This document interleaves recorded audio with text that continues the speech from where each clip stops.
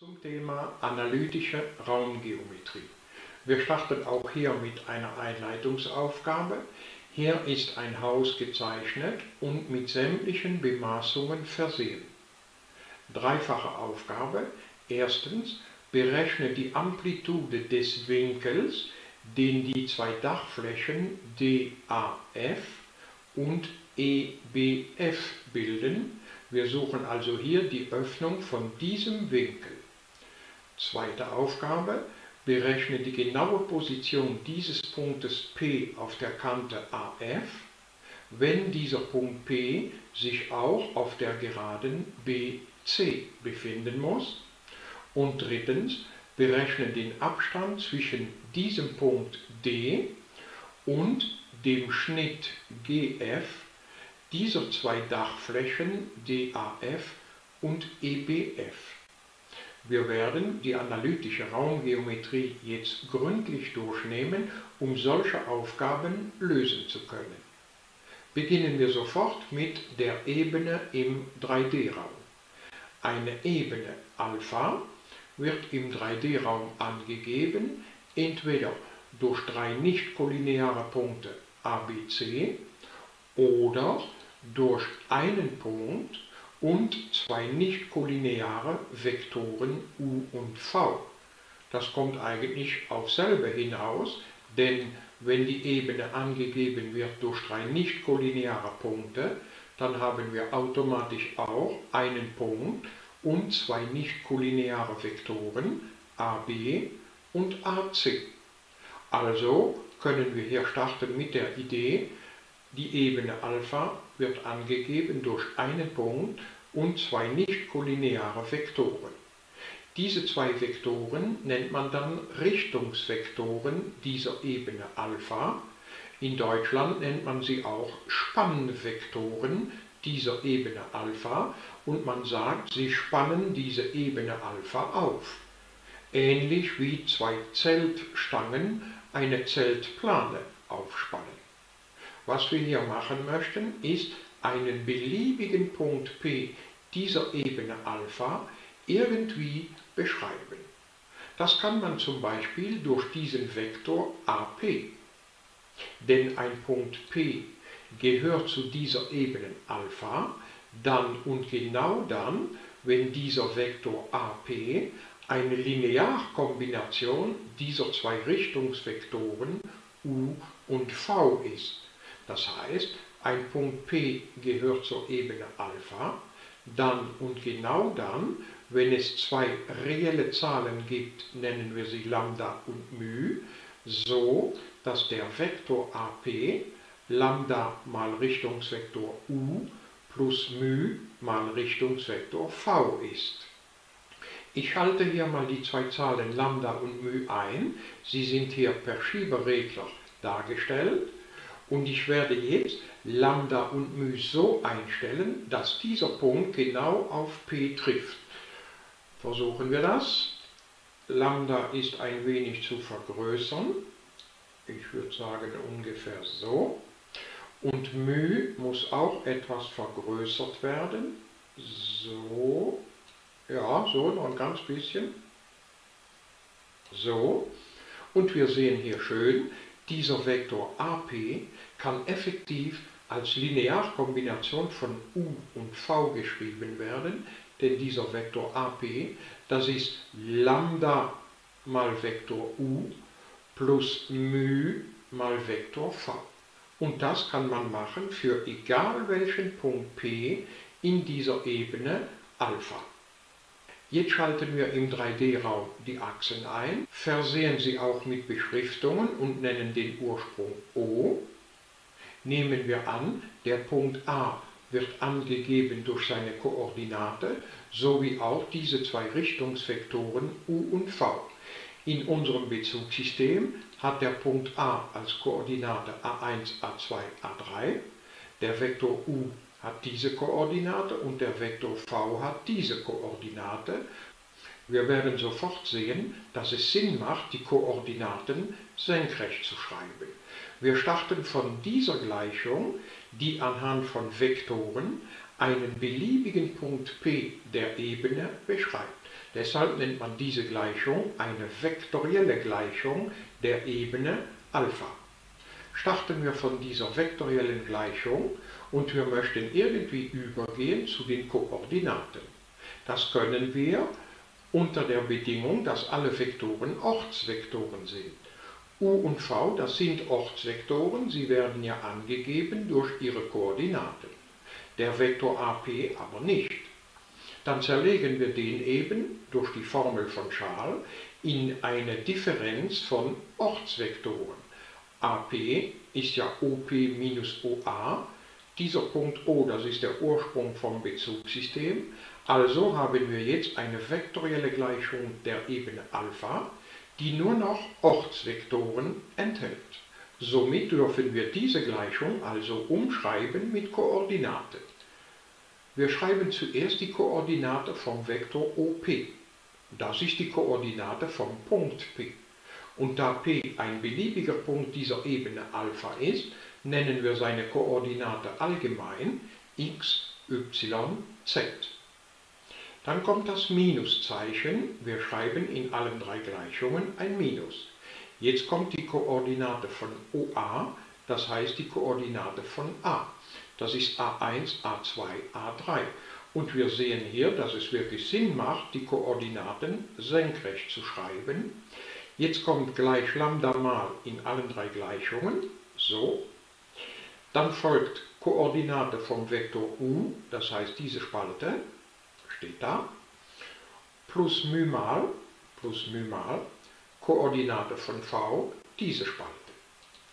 So erhalten wir drei Gleichungen, die die Koordinate x, y, z eines beliebigen Punktes P dieser Ebene Alpha anhand von zwei Parametern Lambda und μ beschreiben.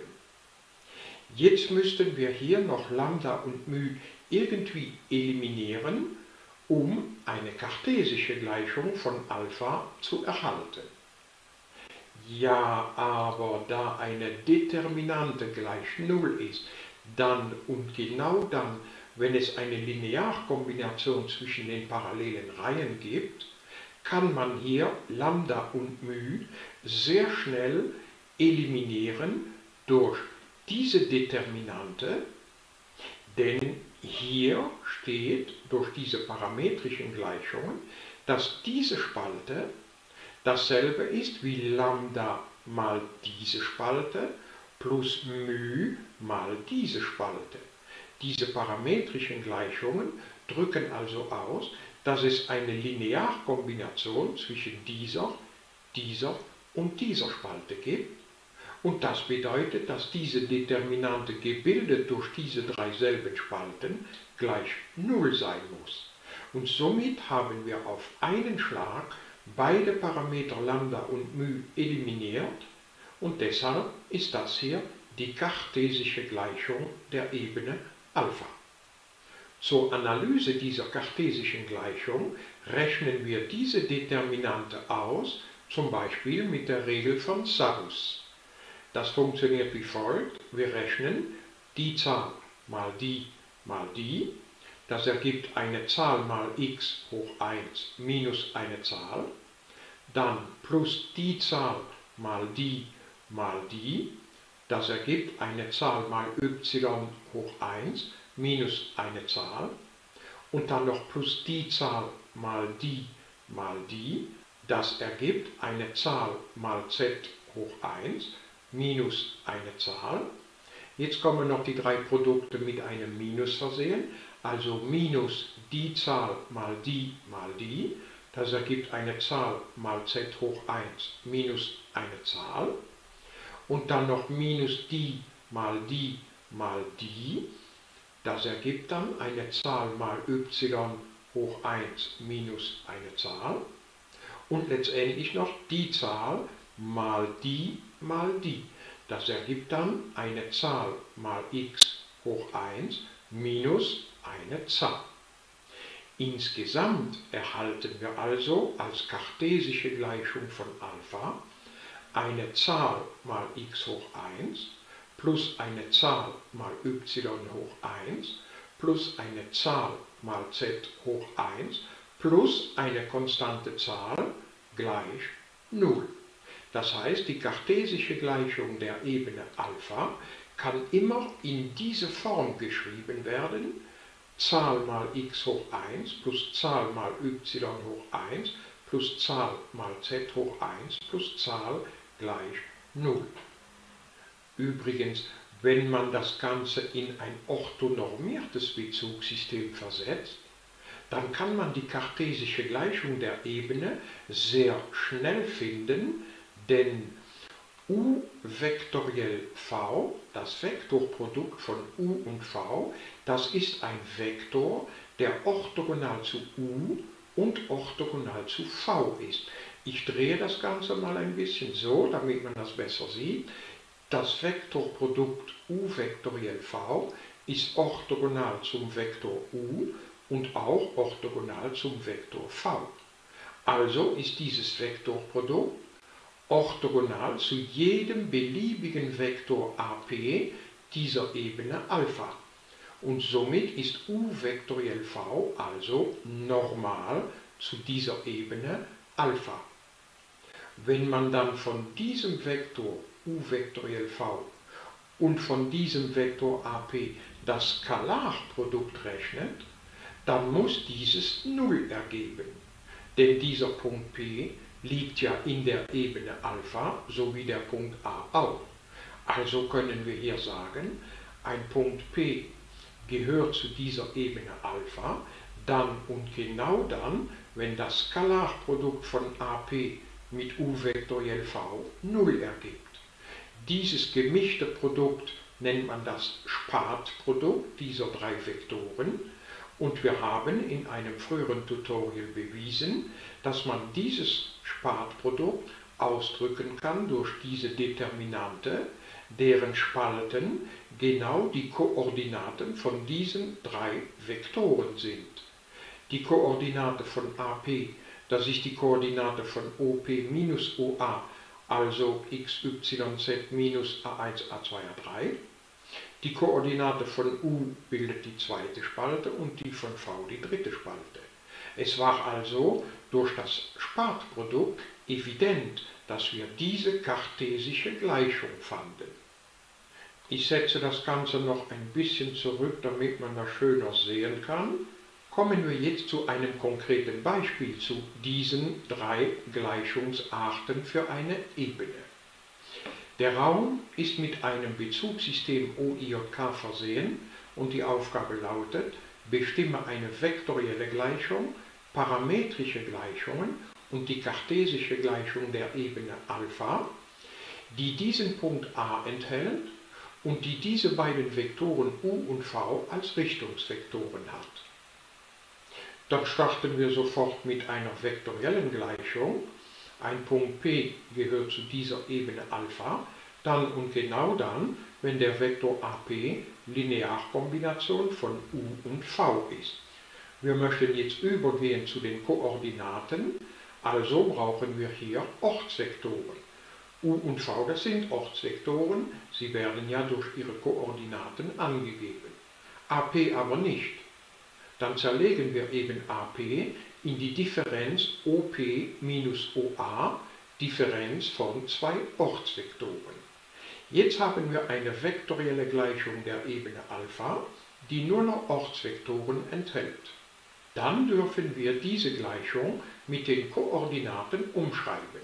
Also schreiben wir die Koordinate von OP, das heißt die von P, allgemeiner Punkt der Ebene Alpha, deshalb allgemeine Koordinate x, y, z. Jetzt kommt das Minuszeichen in den drei Gleichungen. Dann kommt die Koordinate von OA, das heißt 0, 1, 2, aber senkrecht geschrieben, so. Dann kommt gleich Lambda mal in allen drei Gleichungen. So. Jetzt kommt die Koordinate von u, 1, 1, minus 2, vertikal geschrieben. Dann kommt plus μ mal in allen drei Gleichungen. Und dann Koordinate von v, 2, 0, 1, vertikal geschrieben. So erstellt man puzzelartig parametrische Gleichungen dieser Ebene Alpha. Diese Gleichungen schreiben wir jetzt noch etwas einfacher und werden jetzt hier versuchen, algebraisch Lambda und μ zu eliminieren. Um hinterher gut nachvollziehen zu können, was man gerechnet hat, ist es am besten, wenn man diese Gleichungen nummeriert und zum Beispiel hier dann sagt, aus Gleichung 2 schließen wir, dass Lambda dasselbe sein muss wie y minus 1. Da schreiben wir schon mal hin, die zweite Gleichung hat zur Folge, dass Lambda y minus 1 ist und diese Gleichung hier nennen wir mal Gleichung 4. Denn wenn wir in Gleichung 1 diese Erkenntnis einsetzen, dass Lambda y minus 1 ist, dann wird die Gleichung 1 zu x gleich y minus 1 plus 2 mal μ. Und wenn wir diese Gleichung dann nach μ auflösen, finden wir, dass μ gleich ist zu diesem Bruch. Das nennen wir mal Gleichung 5. Jetzt brauchen wir nur noch Gleichung 3, 4 und 5 zu kombinieren, die 3 da. Das heißt, in Gleichung 3 ersetzen wir das Lambda durch y minus 1 und das μ durch x minus y plus 1 geteilt durch 2. Dann ergibt die Gleichung 3 das hier und das Ganze hier schreiben wir dann noch etwas einfacher, bis wir es in dieser Form erhalten haben. So finden wir also die kartesische Gleichung dieser angegebenen Ebene Alpha. Man hätte diese kartesische Gleichung auch viel schneller finden können, indem man die parametrischen Gleichungen so schaut, das ist eine Spalte, das ist die zweite Spalte und das ist die dritte Spalte.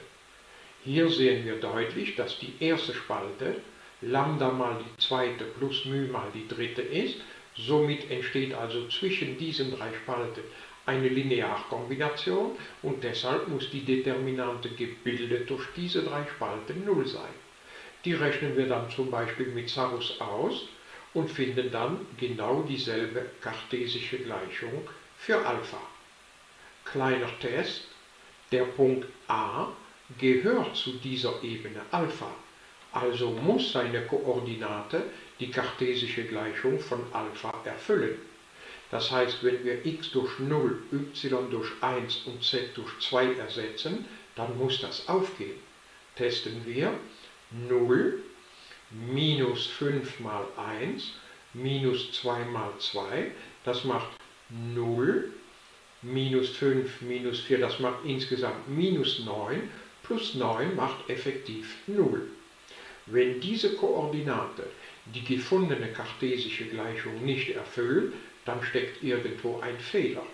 Unsere Berechnungen sind aber richtig, so dass wir sofort weitermachen können. Eine Ebene Alpha wird angegeben durch einen Punkt A und zwei Richtungsvektoren U und V. Wir beschreiben einen beliebigen Punkt P dieser Ebene Alpha anhand dieses Vektors AP. Dann schalten wir die Achsen ein. Wir beschriften sie auch und nennen den Ursprung O und haben herausgefunden, dass die kartesische Gleichung dieser Ebene Alpha zu dieser Determinanten gleich 0 führt und diese Determinante führt dann zu einer kartesischen Gleichung von dieser Art. Jetzt versetzen wir das Ganze in ein orthonormiertes Bezugssystem, hier gekennzeichnet durch diese drei Einheitspunkte. Und wir wissen, dass der Vektor u vektoriell v orthogonal zu u und orthogonal zu v ist. Also ist dieser Vektor automatisch orthogonal zu allen Vektoren AP der Ebene Alpha, ganz egal, wo dieser Punkt P sich in Alpha befindet. Das wissen wir schon. Es gibt aber ein anderes Mittel, anhand der kartesischen Gleichung von Alpha einen weiteren Normalvektoren zu bestimmen. Und zwar kann man das ganz einfach so machen. Man nimmt in der kartesischen Gleichung von Alpha die Vorzahl von x, die Vorzahl von y und die Vorzahl von z und bildet damit die Koordinate ABC. Der Vektor, der ABC als Koordinate hat, der ist automatisch orthogonal zu dieser Ebene Alpha. Man sagt auch, er sei normal zu dieser Ebene Alpha, denn dieser Vektor ist orthogonal zu allen Vektoren AP in Alpha, ganz egal, wo sich dieser Punkt P in Alpha befindet. Das müssen wir natürlich beweisen. Das werden wir auch hier tun. Und zwar werden wir beweisen, für egal welchen Punkt P mit Koordinate x, y, z in dieser Ebene Alpha gilt, AP skalar, dieser Vektor n gleich 0. Zuerst aber zwei kleine Bemerkungen. Die Ebene Alpha hat ja diese kartesische Gleichung. Das bedeutet, dass jeder Punkt, der in dieser Ebene Alpha liegt, diese Gleichung erfüllen muss. Der Punkt P liegt aber in Alpha, seine Koordinate ist hier allgemein benannt mit x, y, z, also muss die Koordinate von P die kartesische Gleichung von Alpha erfüllen. Der Punkt A liegt aber auch in Alpha, also muss die Koordinate von A ebenfalls diese kartesische Gleichung erfüllen, was also heißt, wenn wir in dieser Gleichung x durch die Abszisse a1 ersetzen, y durch die Ordinate a2 und z durch das Lot a3 ersetzen, dann muss die Gleichung aufgehen. Das heißt, diese Summe hier muss gleich 0 sein. Jetzt legen wir los zu dem Skalarprodukt. In einem orthonormierten Bezugssystem kann ein Skalarprodukt berechnet werden anhand der Koordinaten dieser Vektoren. Die Koordinate von n, die kennen wir, das ist ABC. Die Koordinate von AP, die können wir herausfinden durch AP gleich OP minus OA. Die Koordinate des Vektors AP ist also die des Vektors OP, das heißt die von P, minus die des Vektors OA, das heißt die von A. Die Koordinate von AP, das ist also x minus a1, y minus a2, z minus a3. Und wir rechnen jetzt dieses Skalarprodukt anhand der Koordinaten. In einem orthonormierten Bezugssystem klappt das schön und das Skalarprodukt wird berechnet durch Abszisse mal Abszisse plus Ordinate mal Ordinate plus Lot mal Lot, also so. Dieses a werden wir hier verteilen und schreiben a mal x minus a mal a1. b wird auch verteilt, b mal y minus b mal a2 und dann noch c mal z minus c mal a3. So, die Termen mit x, y und z, die wurden nach vorne geschrieben die drei anderen Termen sind alle mit einem Minus versehen. Wir schreiben sie alle nach hinten und klammern das Minus aus. Wenn wir jetzt hier eine Zahl addieren und sie innerhalb der Klammer auch addieren, dann haben wir nichts geändert wegen diesem Minus vor der Klammer. Wenn wir also hier 5 addieren und da auch 5 addieren, dann haben wir im Endeffekt was gemacht? Plus 5 minus 5, also nichts. Wir werden aber hier nicht 5 addieren, sondern wir werden diese Zahl d aus der kartesischen Gleichung von Alpha addieren. So, wir haben hier d addiert und da auch und somit haben wir diesen algebraischen Ausdruck nicht verändert. Aber ax plus by plus cz plus d, das ist 0 weil der Punkt P zu Alpha gehört. Und das, was hier zwischen Klammern steht, das ist auch 0, weil der Punkt A zu Alpha gehört. Also steht hier 0 minus 0, das heißt 0. Das Skalarprodukt vom Vektor AP mit diesem Vektor n ist also gleich 0. Das bedeutet, dass AP orthogonal zu n ist und da das für einen beliebigen Punkt P in dieser Ebene Alpha funktioniert, muss dieser Vektor n automatisch normal zu dieser Ebene Alpha sein. So, was zu beweisen war. Jetzt kommen wir zu der Geraden im dreidimensionalen Raum. Eine Gerade D wird angegeben durch zwei Punkte A und B oder auch durch einen Punkt A und einen Richtungsvektor. Das kommt auch hier auf selbe hinaus, denn wenn man zwei Punkte A und B der Geraden hat, dann hat man automatisch auch einen Punkt und einen Richtungsvektor AB. Also können wir hier allgemein starten mit dieser Idee, die Gerade D wird angegeben durch einen Punkt und einen Richtungsvektor. Was wir machen möchten, ist einen beliebigen Punkt P dieser Geraden beschreiben.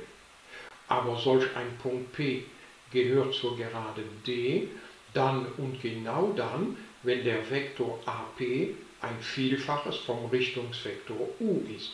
Da schreiben wir schon mal hin. Ein Punkt P gehört zu dieser Geraden D, dann und genau dann, wenn es eine reelle Zahl Lambda gibt, sodass der Vektor AP Lambda mal U ist.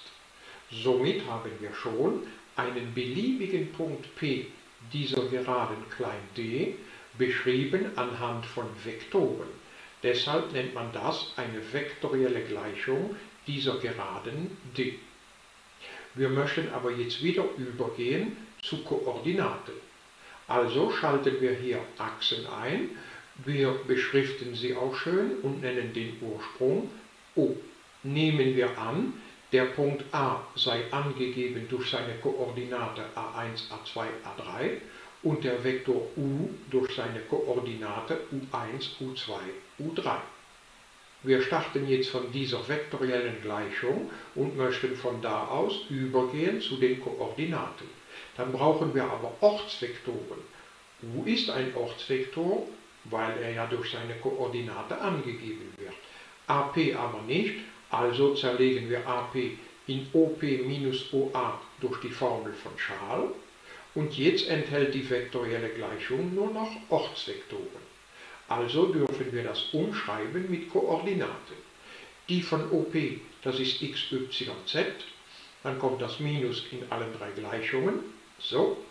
Jetzt folgt die Koordinate von OA, das ist die von A, also diese da, dann kommt gleich Lambda mal in allen drei Gleichungen, so.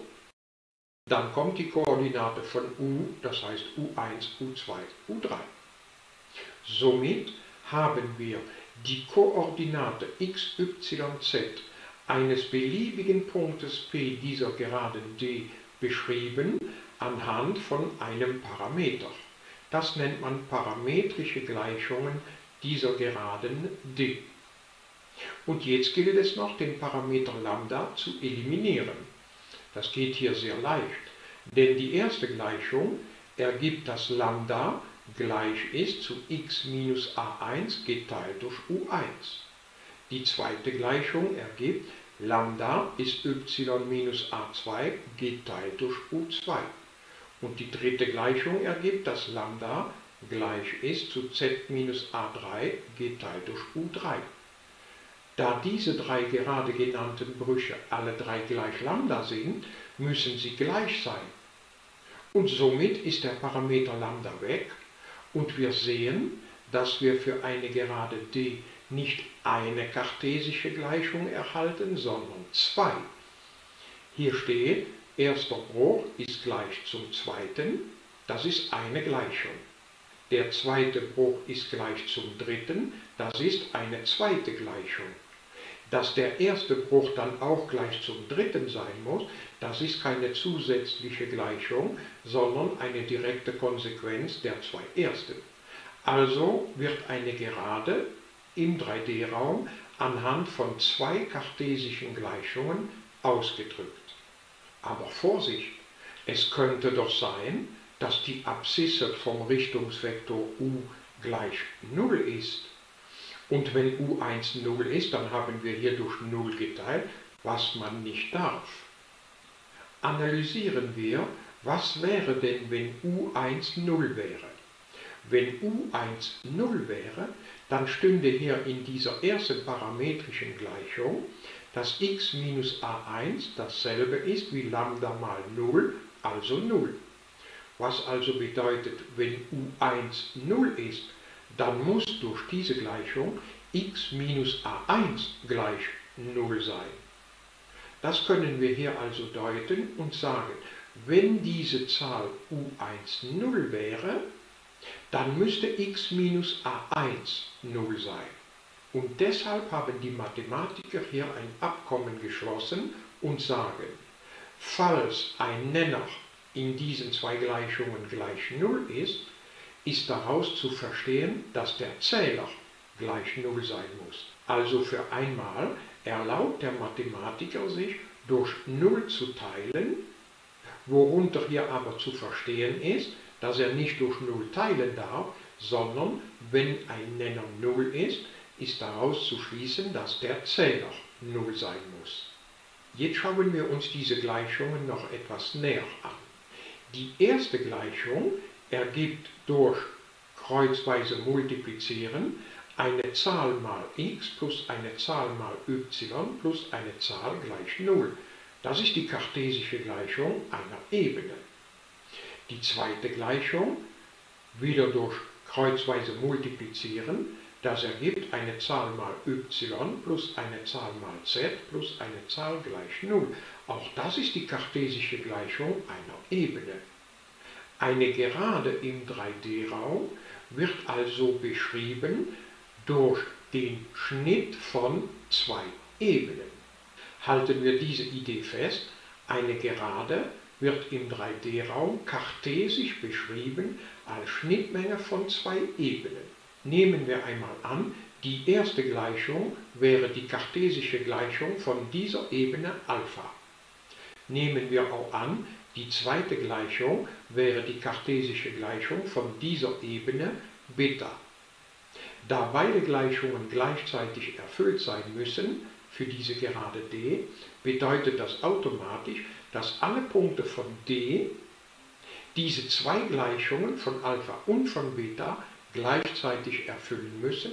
Also wird die Gerade d hier beschrieben als Schnitt von diesen zwei Ebenen Alpha und Beta. Aber eine Gerade kann so als Schnitt von zwei Ebenen bestimmt werden, aber diese Ebenen können dann auch andere sein als diese zwei. Man könnte zum Beispiel die Ebene Alpha um d drehen und so erhalten wir lauter Ebenen Alpha, die genau dieselbe Eigenschaft haben. Das heißt, auch durch diese Ebene Alpha kann diese Gerade beschrieben werden. Dasselbe für Beta. Wir können auch Beta drehen. Es gibt also sehr viele Ebenen, deren Schnitt diese Gerade d ist. Übrigens auch hier wieder durch GeoGebra können wir das Ganze im 3D-Raum sehr schön beobachten. Kommen wir jetzt zu einem konkreten Beispiel. Der Raum ist mit einem Bezugssystem OIJK versehen. Bestimme eine vektorielle Gleichung, parametrische Gleichungen und kartesische Gleichungen der Geraden D, die diesen Punkt A enthält und die diesen Vektor u als Richtungsvektor hat. Wir starten sofort von der vektoriellen Gleichung AP gleich Lambda mal u und möchten jetzt übergehen zu den Koordinaten. Dazu brauchen wir Ortsvektoren. Der Vektor u ist ein Ortsvektor, er wird ja anhand seiner Koordinate angegeben, der Vektor AP aber nicht. Deshalb zerlegen wir diesen Vektor AP in OP minus OA durch die Formel von Schal, wo O der Ursprung vom Bezugssystem ist. Somit haben wir eine vektorielle Gleichung der Geraden D, die nur noch Ortsvektoren enthält, also dürfen wir die genauso umschreiben mit Koordinaten. Die Koordinate von OP das ist die vom beliebigen Punkt P der Geraden D, also die Koordinate ist x, y, z. Dann schreiben wir dreimal das Minus untereinander. Jetzt folgt die Koordinate von OA, das ist die Koordinate von A, also 2, 1, 0. hier eben vertikal geschrieben, so. Jetzt folgt gleich Lambda mal in allen drei Gleichungen, ist gemacht. Und jetzt folgt noch die Koordinate von u minus 1, 0, 3 vertikal geschrieben. Und somit haben wir drei parametrische Gleichungen dieser Geraden, die wir noch ein bisschen einfacher schreiben können. Wir sehen hier sofort, dass die zweite Gleichung gar keinen Parameter mehr enthält. Also ist das schon eine kartesische.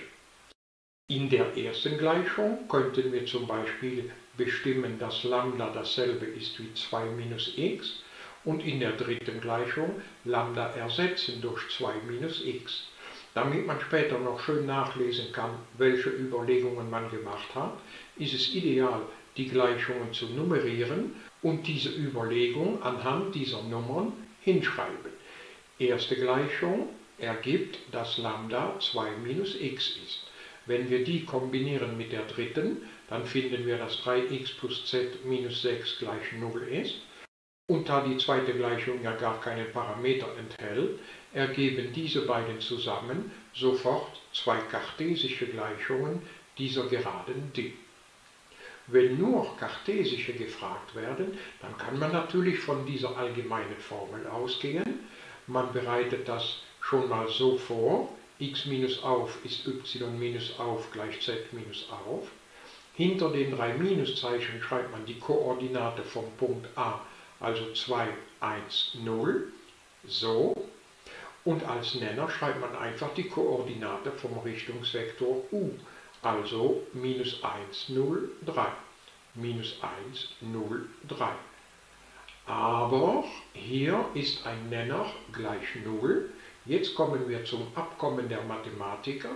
Wenn bei diesen Gleichungen ein Nenner 0 ist, dann ist darunter zu verstehen, dass der Zähler 0 sein muss. Also Vorsicht, auch hier bei der Division durch 0. Der Zähler muss 0 sein, das bedeutet, dass y 1 sein muss. Somit haben wir schon mal eine kartesische Gleichung. Und dieser erste Bruch ist gleich zu dem dritten Bruch. Das führt dann sofort zu dieser zweiten kartesischen Gleichung der Geraden d. Kommen wir jetzt zu Lagebeziehungen im 3D-Raum. Zuerst die Parallelität. Zwei Geraden sind parallel zueinander, dann und genau dann, wenn zwei jeweilige Richtungsvektoren kollinear sind. Das heißt, ein Richtungsvektor der einen Geraden ist Vielfaches von einem Richtungsvektor der anderen Gerade. Schreiben wir es hin, eine Gerade d1 ist parallel zu einer Geraden d2, dann und genau dann, wenn es eine reelle Zahl k gibt, sodass ein Richtungsvektor von d2, hier u2 genannt, k mal ein Richtungsvektor von d1 ist, hier u1 genannt. Das lernt man nicht auswendig, das liest man einfach in einer Zeichnung ab. Parallelität zwischen Gerade und Ebene. Diese Gerade D ist parallel zu dieser Ebene Alpha, dann und genau dann, wenn ein Richtungsvektor von D orthogonal zu einem Normalvektor von Alpha ist. Es ist zu überprüfen, ob das Skalarprodukt dieser beiden Vektoren 0 ist. Was also heißt, D ist parallel zu Alpha, dann und genau dann, wenn ein Richtungsvektor von d skalar ein Normalvektor von Alpha 0 ergibt. Auch das lesen wir in der Zeichnung ab. Das war gerade gerade, hier gerade Ebene, jetzt folgt Ebene Ebene. Eine Ebene Alpha 1 ist parallel zu einer Ebene Alpha 2, dann und genau dann, wenn zwei jeweilige Normalvektoren n1 und n2 kollinear sind, das bedeutet, dass der eine ein Vielfaches von dem anderen sein muss. Auch das lernt man nicht auswendig, das schaut man in einem Schema. Jetzt kommen wir zur Orthogonalität in derselben Reihenfolge, gerade gerade, gerade Ebene, Ebene Ebene. Zuerst gerade gerade. Dazu komme ich aber etwas näher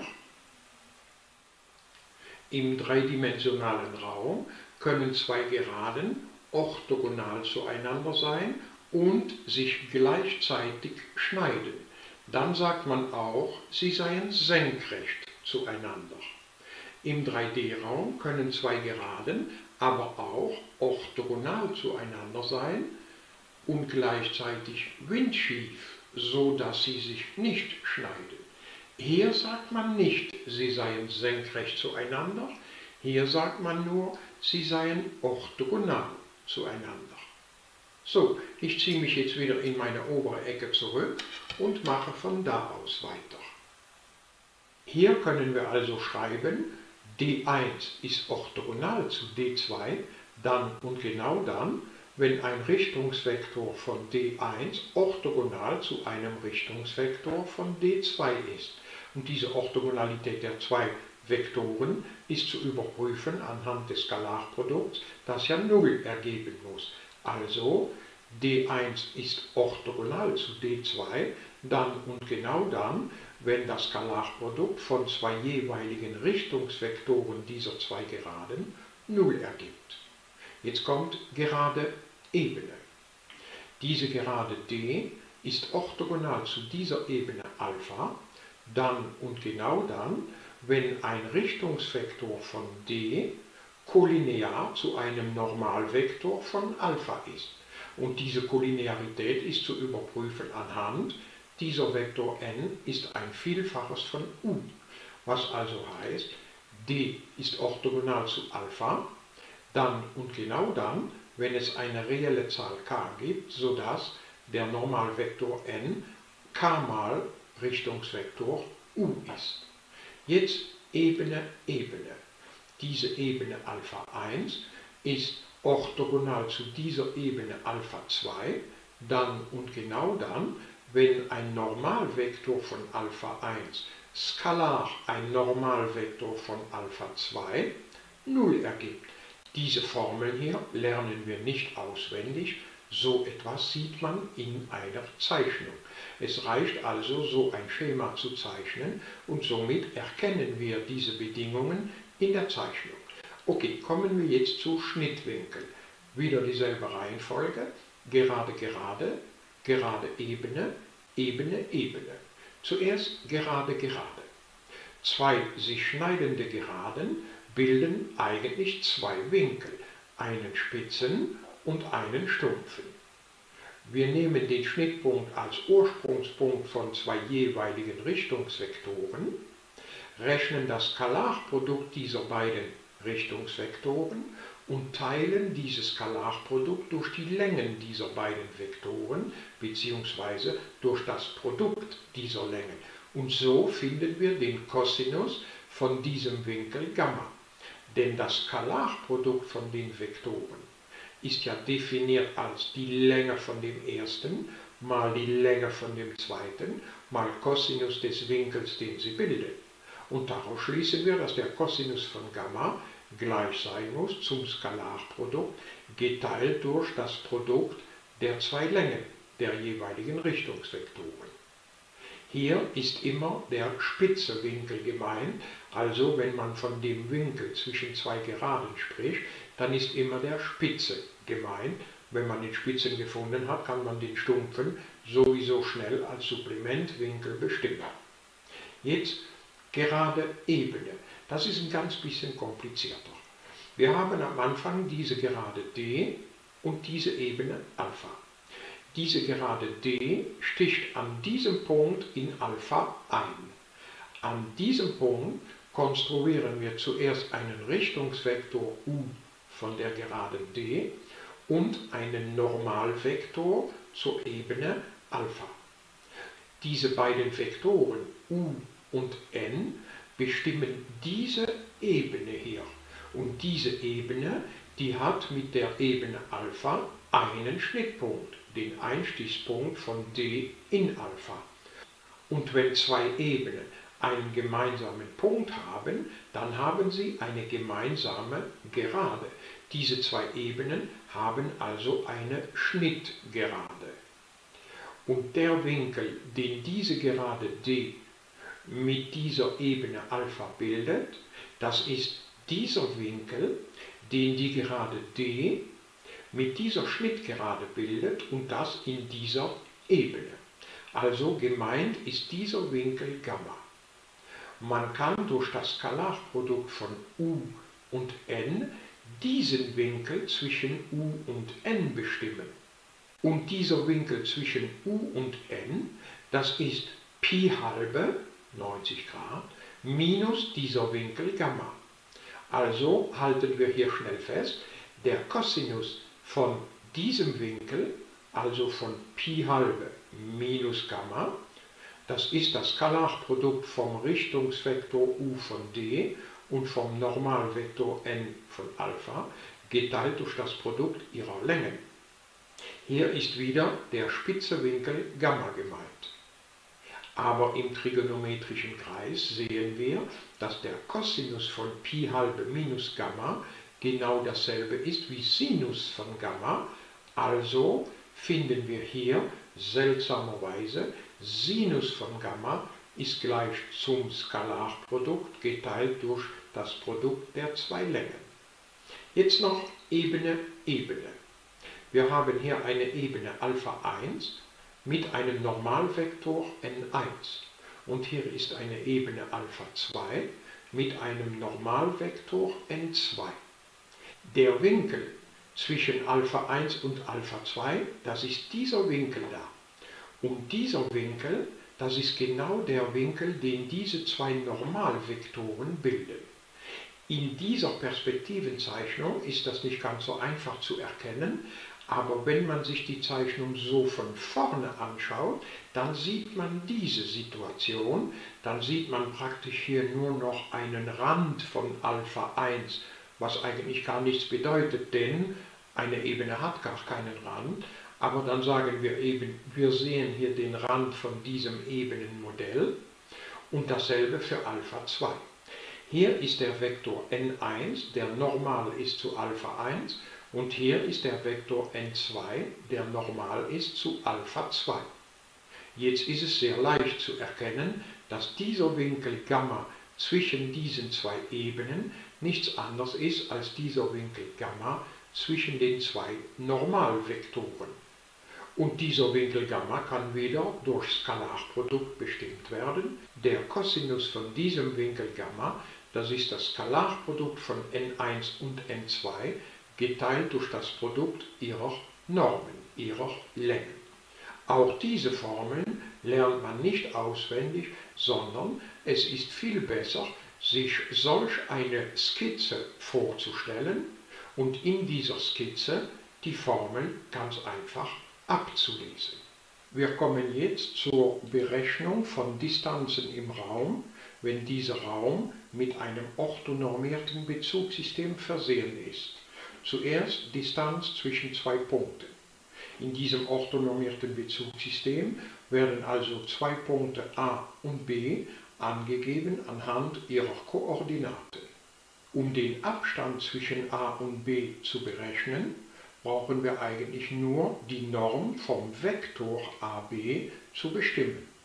Der Vektor AB ist aber kein Ortsvektor, also zerlegen wir den zuerst anhand der Formel von Schal in eine Differenz von zwei Ortsvektoren und somit wissen wir, dass die Koordinate von AB die von B minus die von A ist. So haben wir die Koordinate von dem Vektor und um die Norm eines solchen Vektors zu berechnen, rechnet man die Quadratwurzel von der Abszisse im Quadrat plus Ordinate im Quadrat plus Lot im Quadrat. Und somit haben wir sofort die Distanzformel zwischen zwei Punkten gefunden. Halten wir sie fest. Jetzt kommen wir zu Distanz zwischen einem Punkt und einer Geraden. In diesem orthonormierten Bezugssystem sind also angegeben ein Punkt P anhand seiner Koordinate P1, P2, P3 und eine Gerade D anhand eines Punktes, nennen wir ihn D, und anhand eines Richtungsvektors, den nennen wir hier W. Was wir suchen, ist der Abstand zwischen diesem Punkt und dieser Geraden D. Von P aus ziehen wir also die Strecke im rechten Winkel zu D. Ich drehe das Ganze hier mal schön im 3D-Raum, damit wir deutlich erkennen, welcher Abstand gemeint ist. Es ist dieser grüne Abstand von P bis zur Geraden D hin. Um diesen Abstand zu bestimmen, gehen wir wie folgt vor. Das ist der Anfangspunkt von diesem Richtungsvektor W, nennen wir seinen Endpunkt mal Q.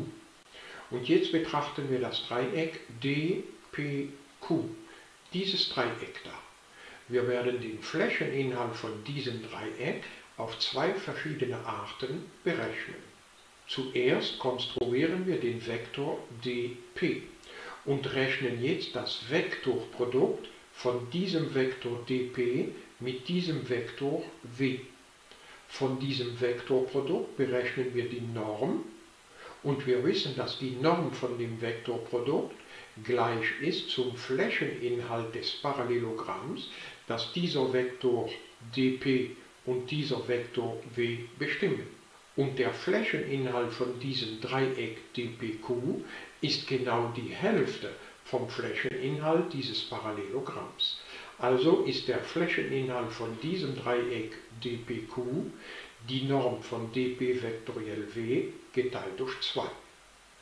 Der Flächeninhalt von diesem Dreieck kann aber auch wie üblich gerechnet werden durch Basis dq mal diese Höhe, diese grüne Distanz, die wir eigentlich suchen. Nochmal, der Flächeninhalt von diesem Dreieck, das ist die Basis, also der Abstand zwischen d und q oder auch die Länge des Richtungsvektor w, mal diese Höhe. Ich drehe diese Zeichnung jetzt nochmal, damit wir schön erkennen, dass die grüne Distanz, die wir eigentlich suchen, effektiv die Höhe von diesem Dreieck dpq ist.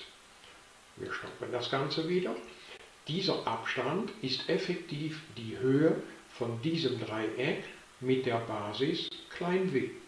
Also Flächeninhalt von diesem Dreieck, das ist auch w Basis mal Distanz zwischen p und d, das ist die Höhe, geteilt durch 2. Da dieser Bruch gleich zum Flächeninhalt von diesem Dreieck da ist und dieser Bruch ebenfalls gleich zum Flächeninhalt von diesem Dreieck ist, müssen diese zwei Brüche gleich sein. Diese Gleichheit multiplizieren wir sofort mit 2, daraus schließen wir, dass diese zwei Zähler gleich sein müssen.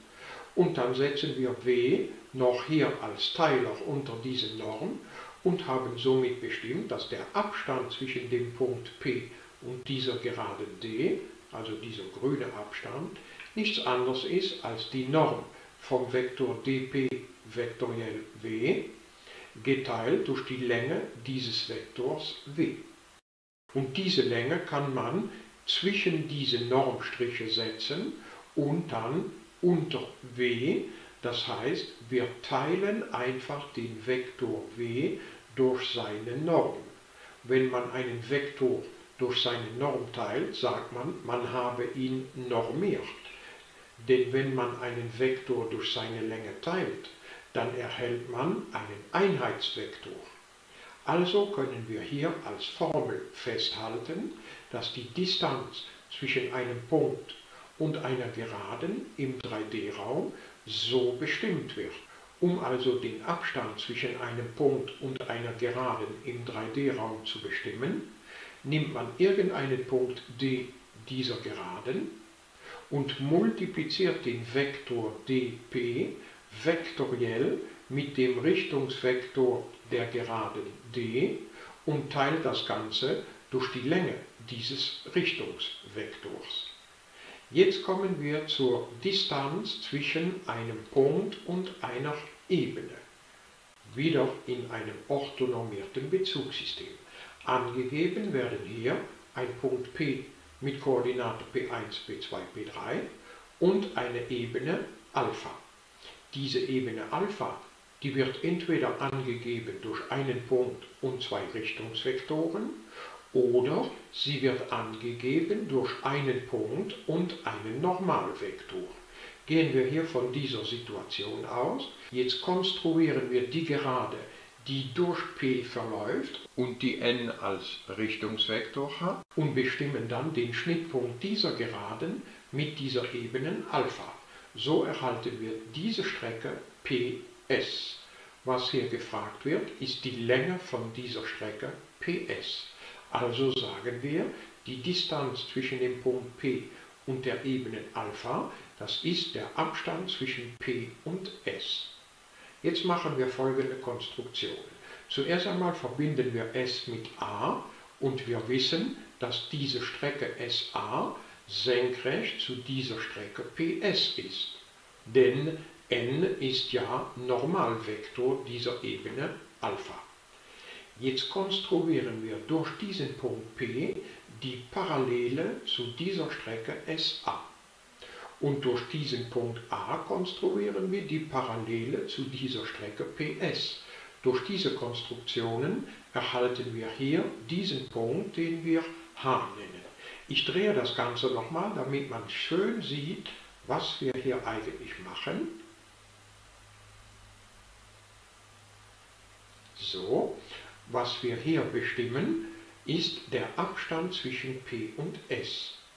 Durch diese parallele Geraden, die gerade konstruiert wurden, wissen wir, dass das Viereck SAHP ein Parallelogramm ist. Und deshalb ist der Abstand zwischen P und S genau derselbe wie der zwischen A und H.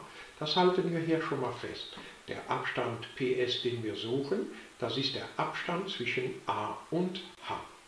Jetzt konstruieren wir noch den Vektor AP und rechnen jetzt das Skalarprodukt vom Vektor AP mit diesem Vektor n.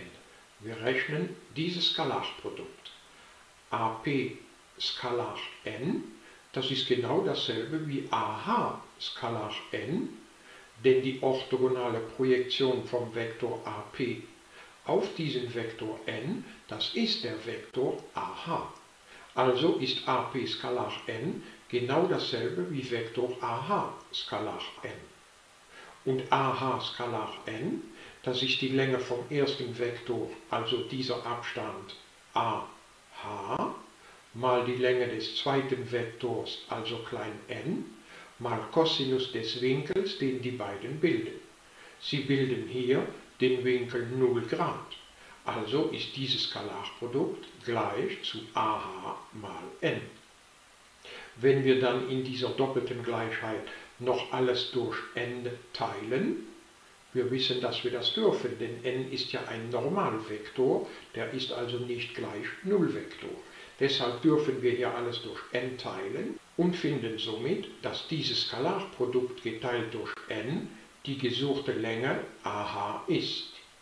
Hier machen wir genau wie eben, dieses n dürfen wir unter den Vektor n setzen, so bedeutet das, dass dieser Normalvektor n geteilt wird durch seine Länge und somit haben wir da einen Einheitsvektor.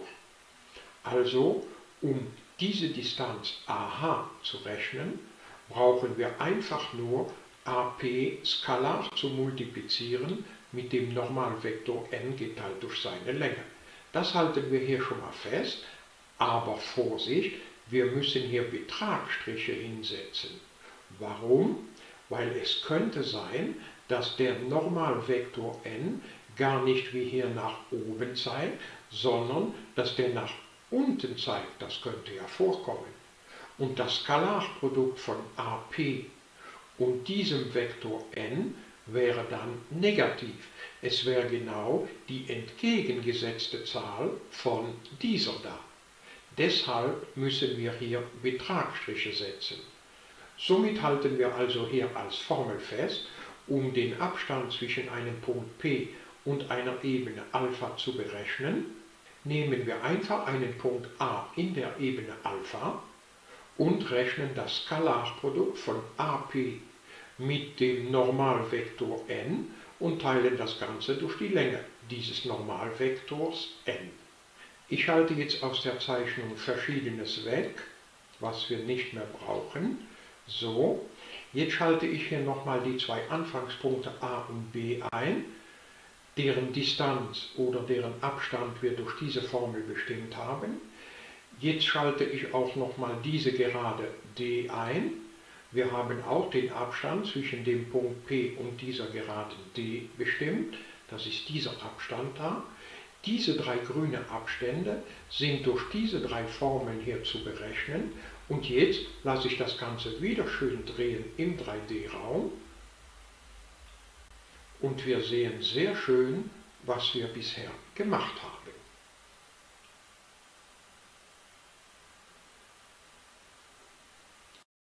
So, jetzt kommen wir nochmal auf diesen Abstand zwischen dem Punkt P und dieser Ebene Alpha zurück. Alles andere schalte ich jetzt wieder weg. So, okay, wir brauchen den Abstand zwischen P und Alpha, also diesen grünen Abstand hier. Das Ganze befindet sich in einem orthonormierten Bezugssystem. Wenn diese Ebene Alpha in diesem orthonormierten Bezugssystem diese kartesische Gleichung hat, dann wissen wir, dann können wir als Normalvektor den Vektor nehmen, der a, b, c als Koordinate hat. a ist die Vorzahl von x in der Gleichung von Alpha, b ist die Vorzahl von y und c ist die Vorzahl von z. Diese Formel hier besagt, um den Abstand zwischen dem Punkt P und dieser Ebene Alpha zu bestimmen, reicht es, den Betrag von diesem Skalarprodukt zu rechnen. Also rechnen wir den Betrag vom Skalarprodukt von diesem Vektor AP, dessen Koordinate die von P minus die von A ist, also P1 minus A1, P2 minus A2, P3 minus A3, Skalar, Koordinate vom Vektor n, das ist die Koordinate ABC, und diese Koordinate wird noch multipliziert mit der Zahl 1 geteilt durch n. Also 1 geteilt durch Quadratwurzel von a plus b plus c. Denn diese Quadratwurzel ist genau die Norm von diesem Vektor.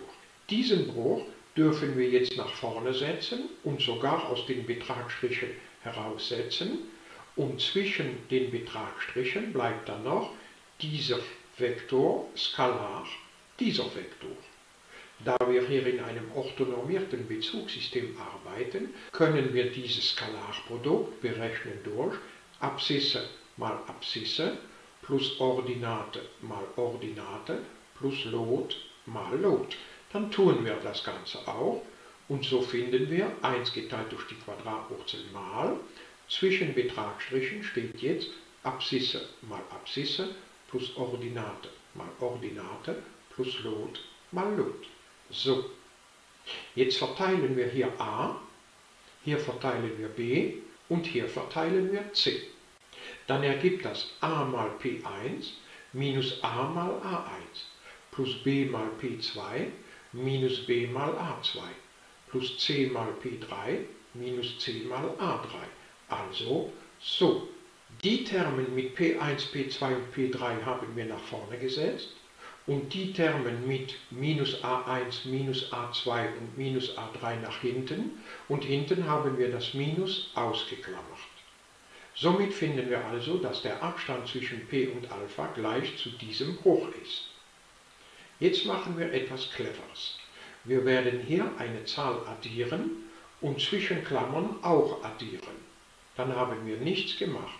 Nehmen wir an, wir addieren hier 5 und zwischen Klammern addieren wir auch 5. Dann steht da 5 minus 5, also 0. Wir haben nichts gemacht.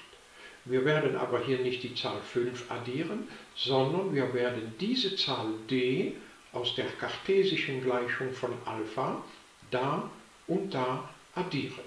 Ist gemacht. Und wir haben diesen Bruch so nicht geändert. Hier zwischen Klammern, da steht AA1 plus BA2 plus CA3 plus D. Aber der Punkt A, das ist ein Punkt von dieser Ebene Alpha.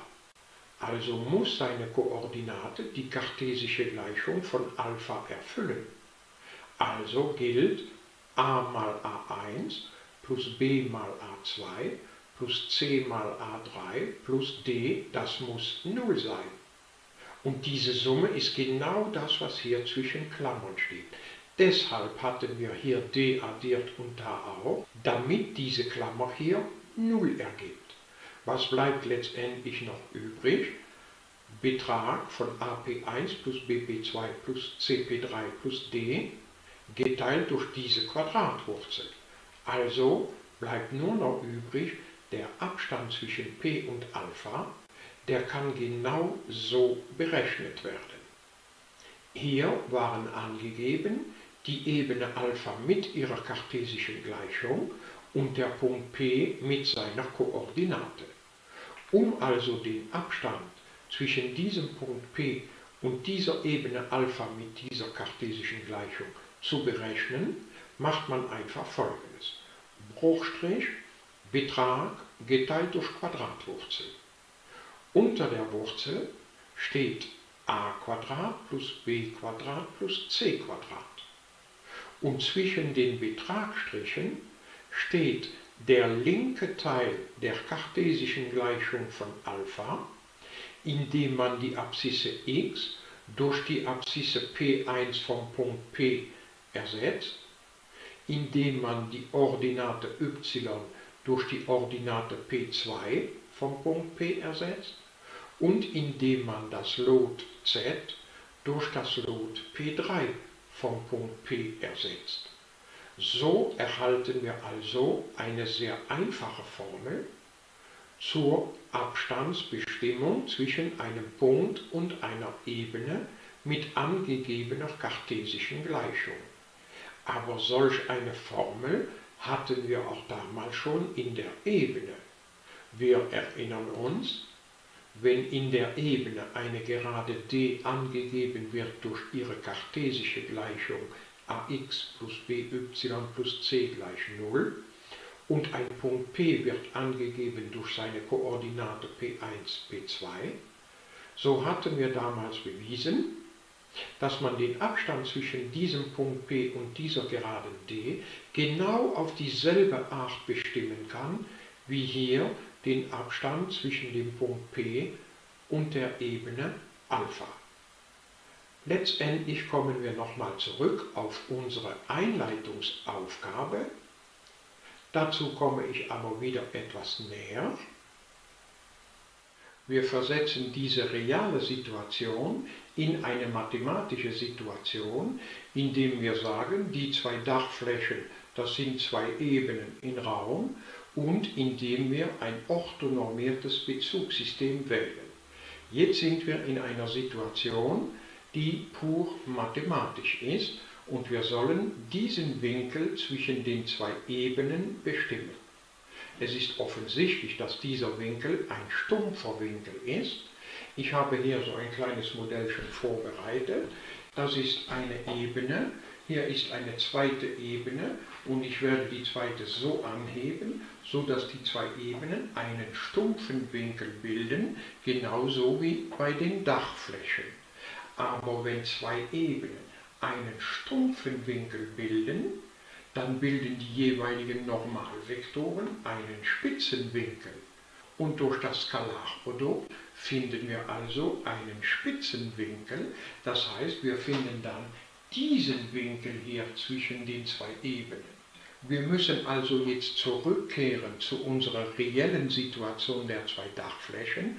Das heißt, wir müssen von 180 Grad diesen gefundenen Spitzenwinkel abziehen, um den gesuchten stumpfen Winkel zu erhalten. Und genau das ist der letzte Schritt des Modellierens. Aus der mathematischen Situation kehren wir jetzt zurück zur reellen Situation. Und genau das macht man sehr häufig in der Mathematik. Man hat ein reelles Problem, durch mathematisches Modellieren versetzt man sich in eine mathematische Situation, bearbeitet dieses Problem dann dort mathematisch und der letzte Schritt ist dann Rückkehr zur Realität. Ich habe hier so ein kleines Männchen und finde, dass dieses Männchen das sehr schön darstellt. Wir haben zuerst eine reelle Situation, ich mache das mal so, diese reelle Situation wird dann in eine mathematische Situation versetzt. Dort können die Mathematiker wie üblich arbeiten und ganz zum Schluss kehren sie mit ihren Ergebnissen zurück in die reelle Situation. Das nennt man mathematisches Modellieren. Wir haben die analytische euklidische Raumgeometrie gründlich durchgenommen und sind jetzt fähig, sämtliche Aufgaben im 3D-Raum zu lösen.